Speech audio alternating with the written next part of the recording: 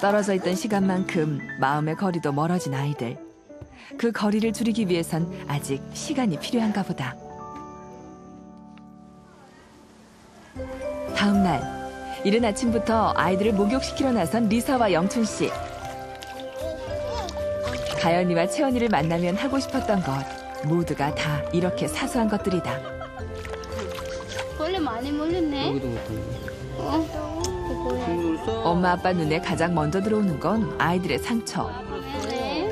야, 채연이는 더 심해. 불쌍해요, 우리 애들. 지금은 품이 작아졌어요. 품이 작아져서 얘들 지금 서로 밀어내서. 이거는 언니 거야. 가연이 많이 컸어요. 쌀을 진짜 써요. 키도 몸무게도 예전과는 많이 달라진 가연이와 채연이. 부쩍 자란 아이들이 리사와 영춘 씨는 낯설면서도 내심 기쁘다.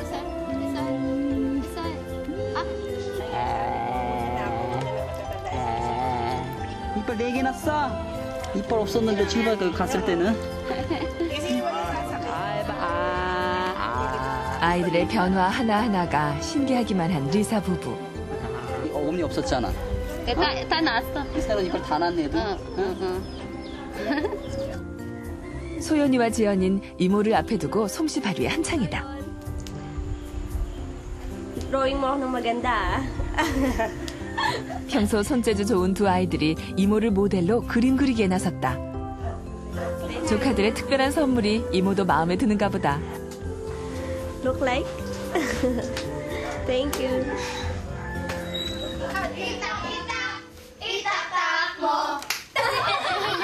채연이와 가연이가 모처럼 기분이 좋은 모양이다. 엄마 아빠에게 느낀 낯설음이 조금 풀린 걸까? 귀여운 아이들의 재롱에 가족들도 신이 났다.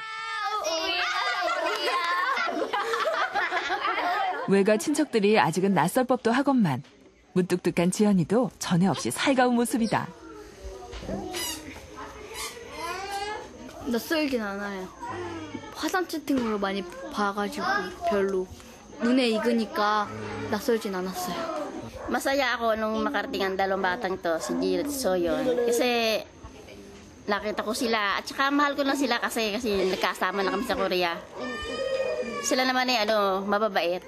Pagpalaan ka ng Diyos na lalo pang maging 가연이하고 채연이하고 이제 가는데 좀 섭섭하겠지만 음, 그동안 많이 도와줘서 너무 감사드립니다. 고맙습니다. 땡큐. 아미 살라마 뽀. 영춘 씨의 인사에 그만 눈물을 보이고 마는 리사의 작은 언니. 딸처럼 키워온 조카들과의 이별이 잘된 일인 줄 알면서도 섭섭한 마음은 감출 수가 없다.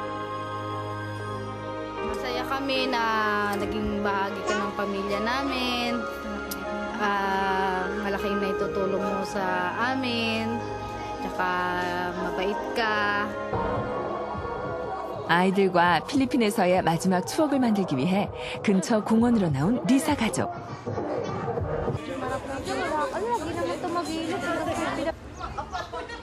이곳은 리사와 영춘 씨가 처음 데이트를 했던 특별한 장소이기도 하다.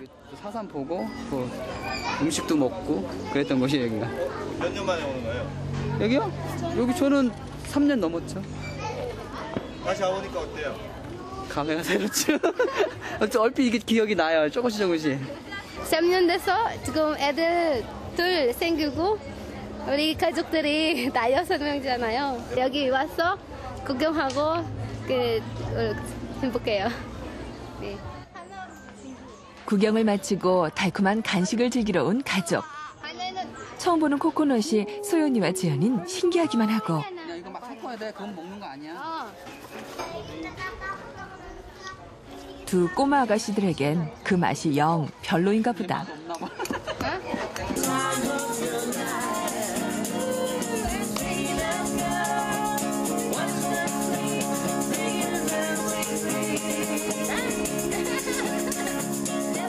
영춘 씨와의 소중한 만남이 있었고 아이들과의 가슴 아픈 이별을 겪은 것 리사의 고향 필리핀. 그녀는 다시 오늘의 행복한 재회로 고향에서 또 하나의 추억을 새긴다. 엄마 아빠 앞에서 처음으로 아장아장 걸음마를 선보이는 채연이.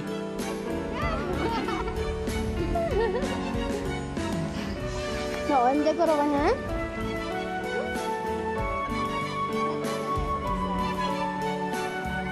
그리고 한달음에 달려와 엄마 품에 안기는 가연이.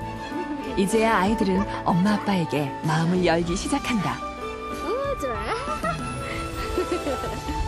한국 그 오면요 아, 열심히 살 거예요. 일도 열심히 할 거예요. 애들랑 행복해 아, 같이 아, 사- 살 거예요. 집이 제일 좁아요. 제일 좁아가지고 뭐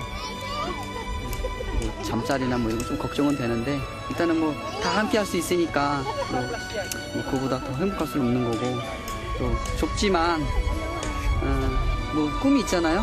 저희가 비 온 뒤 땅이 굳어지는 것처럼 아픔을 겪고 더 큰 행복을 찾은 리사 가족. 가족은 내일을 향해 다시 힘찬 첫 발을 내딛는다.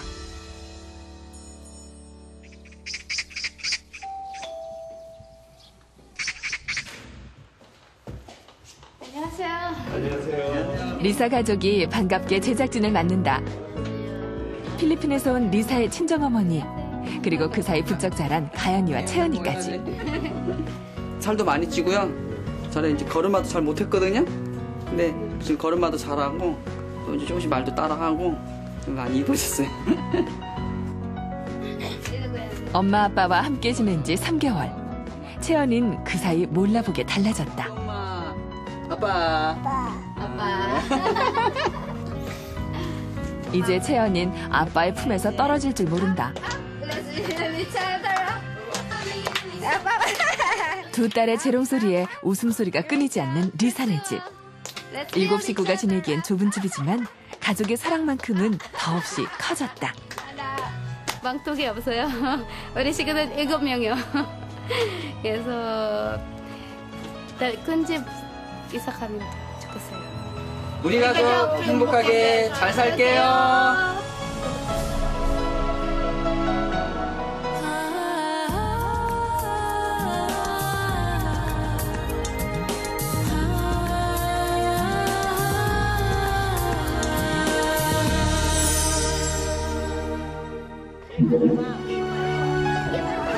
지난 10일 부산에서 다문화 가족 캠프가 열렸다.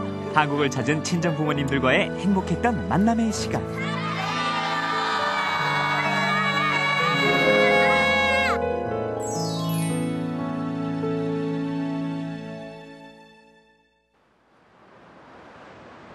인천국제공항. 이곳에서 반가운 얼굴 두루가를 만났다. 오늘은 결혼 10년 만에 처음으로 네팔에 계신 친정 부모님이 한국에 오시는 날이다. 빨리는 못 나와질 것 같은데 빙빙 돌아야 될 거고. 무슨 이상한 살이 나온다. 엄마, 엄마 아닌 거 혹시 잠깐만 온 것 같아요. 잠깐만. 만남의 설렘으로 들어가는 좀처럼 마음이 진정되지 않는다. 스님이시잖아요. 아, 어 떨려. 어떡해.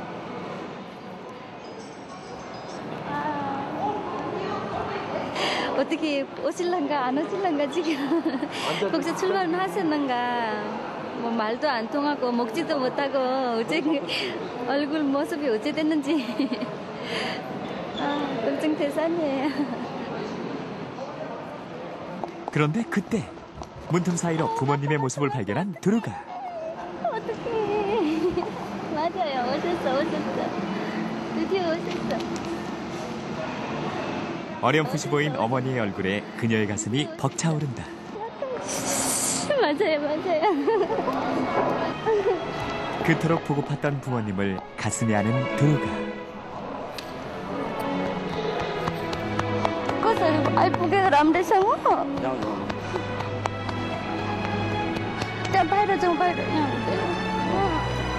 따뜻한 부모님의 품 안에서 그간의 그리움이 한순간에 사라진다. 좀 알쁘게 그래. 아, 행복해. 계속 이렇게 있, 있고 싶어요. 엄마로서 아니라 딸로서. 한편 김해공항